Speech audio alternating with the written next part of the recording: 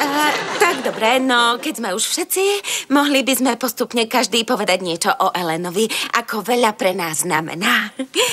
Oh, Jake, chceš byť prvý? Nie, chcem urobiť miesto na tortu. Dobre. Uh, Berta, nechcela by si začať ty? Jasné. Čertober.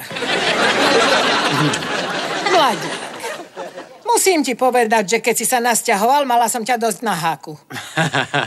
Bol si jeden sebecký, pokrytecký, úzkoprsý sukín syn. No teraz si s nami už 6 rokov. Ďakujem. Je to tak. Ja? Nestačí, že som ho nosila 7,5 mesiace. Prekvapilo by ťa, koľko žien si vyberá 9. No tak, Evelyn, musíte niečo povedať. fajn. Ellen, Zlatko, ty si bol vždy veľmi dobrý syn. Aj keď tvoj brat nenasadí látku veľmi vysoko. Áno, no tak moment. Charlie, chceš niečo povedať? Uh, um, v poriadku. Ellen, si môj malý brat.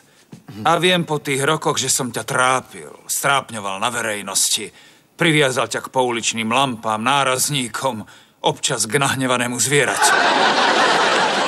A raz som tvoj zadok použil ako odpaľovaciu plošinu pre fľašové rakety. V každom prípade snažím sa tu povedať, že e, ďakujem za spomienky. To je všetko? Len to ste chceli povedať? Mohla by som povedať o jeho mokrej posteli. Ahoj, mami.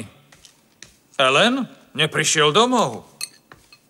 Máš pravdu, boli sme vtipní, len prehnane reagoval. Som si istý, že nakoniec sa sem vráti. Vždy sa vracia. Mal sa volať Herpes.